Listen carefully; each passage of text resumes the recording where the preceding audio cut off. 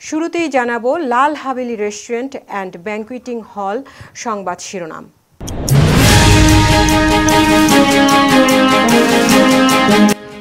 এবারের মাধ্যমিক পর্যায়ের পরীক্ষায় গত পাঁচ বছরের মধ্যে সবচেয়ে খারাপ ফলাফল করেছে সিলেট শিক্ষা বোর্ডের শিক্ষার্থীরা। ফলাফল বিপর্যয়ের পেছনে মানসম্মত শিক্ষকের অভাবকেই দায়ী করেছেন সংশ্লিষ্টরা। শিক্ষক, ভালো শিক্ষকের সংখ্যা খুবই খুবই কম।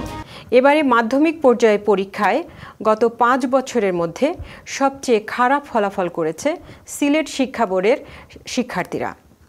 পরীক্ষায় অংশগ্রহণ নিয়েও উত্তীর্ণ হতে পারেনি প্রায় সতেরো শতাংশ শিক্ষার্থী। আবারও ফলাফল বিপর্যয়ের পেছনে মানসম্মত শিক্ষার অভাবকেই দায়ী করেছেন সংশ্লিষ্টরা। তবে সিলেটের শিক্ষার্থীদের এই ফলাফল বিপর্যয়ের শীঘ্রই দৃষ্টিপাত না করলে এই অঞ্চলের শিক্ষার মান আরও পেছনে পড়বে বলে অনেকে মনে করেন। বিস্তারিত জানাচ্ছেন আমাদের বাংলাদেশ ব্যুরো প্রধান সজল ছত্রী আর ছবি তুলেছেন দীপক বৈদ্য।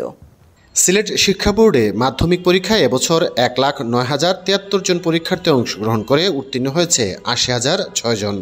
পাশের হার তিয়াত্তর দশমিক তিন পাঁচ শতাংশ।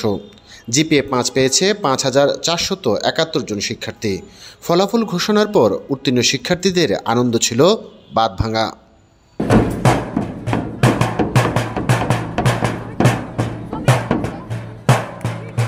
উত্তীর্ণ শিক্ষার্থীরা উচ্ছ্বসিত হলেও সিলেট শিক্ষা বোর্ডে খারাপ ফলাফলের ধারা অব্যাহত আছে। গত পাঁচ বছরের মধ্যে এবার সবচেয়ে খারাপ ফলাফল করেছে সিলেট শিক্ষা বোর্ড।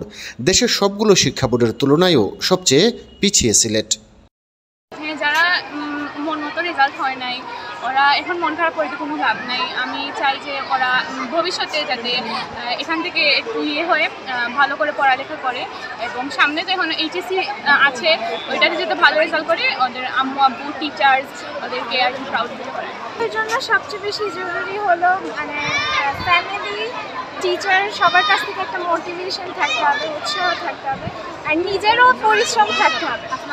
আমি আজকে প্রেফারেন্স পেয়েছি এর জন্য সবারই অবদান আছে। আমার টিচার ফ্যামিলি আম্মু আব্বু আমার আব্বু আমাকে পড়িয়েছে সবারই অবদান আছে। সবচেয়ে বেশি অবদানটা আমার আম্মুর।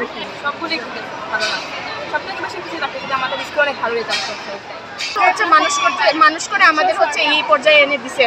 আর শুধু যে গোল্ডেন প্লাস পাওয়া যায় হচ্ছে, সাংস্কৃতিক দিকে থাকা যাবে না, মাঠ প্রেস করা যাবে না নাচ গান করলে গোল্ডেন প্লাস পাওয়া যাবে না। আমি বলতেছি যে, আমি ই স্কুল থেকে মাঠ তো করছি, না, গান নাচও করতাম সব কিছু করে আমি গোল্ডেন প্লাস পাইছি। সবাইকে দেখে দিছি যে, না সব কিছু করার পরেও একজন মানে গোল্ডেন প্লাস পাওয়া যায়। ধারাবাহিকভাবে খারাপ ফলাফলের জন্য সিলেট অঞ্চলে বিজ্ঞান বিভাগের শিক্ষার্থী কমে মানবিক বিভাগের শিক্ষার্থী বৃদ্ধিকে অন্যতম কারণ বলছে সিলেট শিক্ষা বোর্ড। সিলেটে হাওর ও চা বাগান অঞ্চলে ভালো শিক্ষকের অভাবও আরেকটি কারণ। সিলেটের তরুণদের বিদেশগামী প্রবণতার সাথে মানসম্মত শিক্ষক না থাকায় শিক্ষার্থীদের ফলাফলে তার প্রভাব পড়ছে। ভালো শিক্ষকরা, বিশেষ করে হাওড় অঞ্চলে হাওড় অঞ্চলে আপনি দেখবেন ইংরেজি ইংরেজি বিষয়ের, গণিত বিষয়ের বিজ্ঞান বিষয়ের শিক্ষক, ভালো শিক্ষকের সংখ্যা খুবই খুবই কম। এমনও প্রতিষ্ঠান আছে, উচ্চতর গণিত পড়ানির মতো শিক্ষক নাই, হাওড় অঞ্চলে। তো এই শিক্ষার্থী কিন্তু সে উচ্চতর গণিত হয়তো বা তার শিক্ষকের অভাবে সেই উচ্চতর গণিত নেই না। তাইলে এই জন্য আমার যে বক্তব্য